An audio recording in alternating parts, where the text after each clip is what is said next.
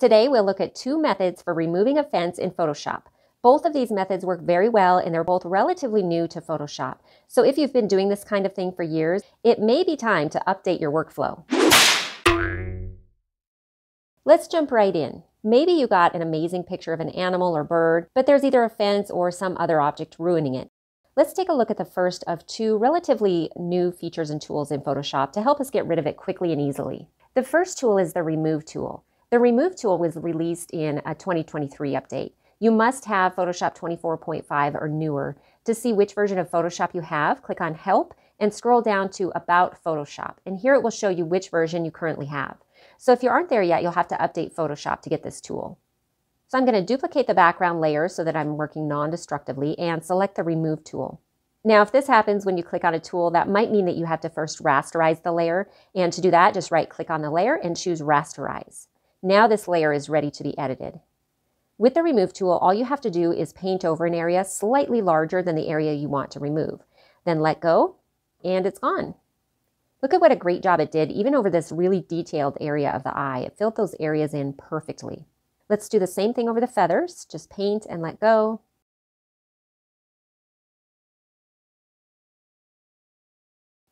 Again, Photoshop did an amazing job. Now, sometimes you might have an area that needs to be cleaned up, so all I have to do is swipe over it again and it disappears. Right now, I have remove after each stroke selected. And with that selected, each time you let go of the mouse or lift the pen, the object is removed. But now that it's unselected, I can let go and change positions and just continue painting, then click on the check mark when I'm ready for Photoshop to remove that area.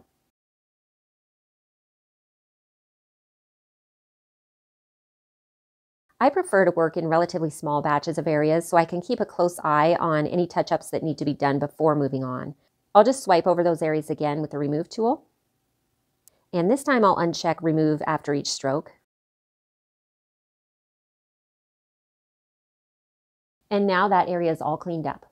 I'll just continue on painting over the fence and cleaning up as I go. You don't really even need to be all that careful about where you paint. As long as you overlap the area that you're trying to get rid of just a little bit, then you'll be fine.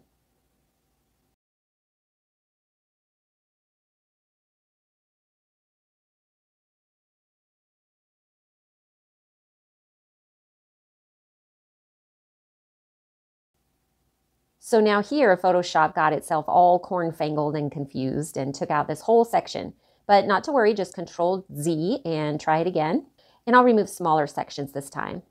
And just like that, the entire fence is gone. Now I'll show you what might be an even better way to remove a fence. It's good to have options. Right here under the foreground and background colors is something not everyone is aware of. It's called a quick mask. When you click to activate the quick mask, the layer you're working on turns red. That's how you'll know you're in quick mask mode. In quick mask mode, everything you paint over becomes a selection.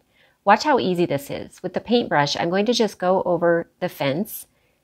Again, not being super careful, just paint over top. I can let go if I need to to resize the brush or change the position, but just like before, I'm painting out of the lines of the fence just slightly, so my brush is just a bit wider than the fence. I'm going to do the entire fence this time.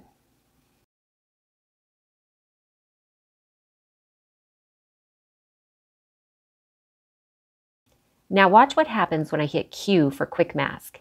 Everything I just painted over turned into a selection. Just like any other selection, you can always go back and make any needed adjustments using any of Photoshop's selection tools. But again, you don't need to be too picky here. It does not have to be perfect. I'm really just doing this to show you that you can. From here, I'll head up to the contextual taskbar.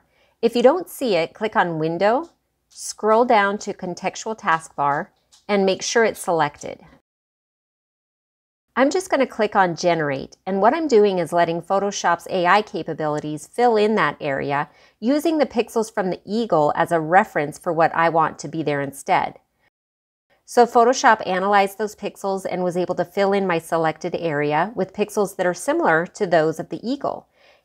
And just like always, you'll want to go through and clean up any areas that may need it. I'm using the Remove tool for that.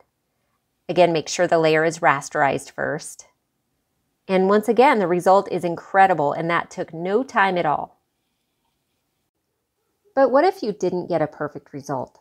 No problem, you can either use the remove tool to get rid of those lingering areas, or you could just do another quick mask.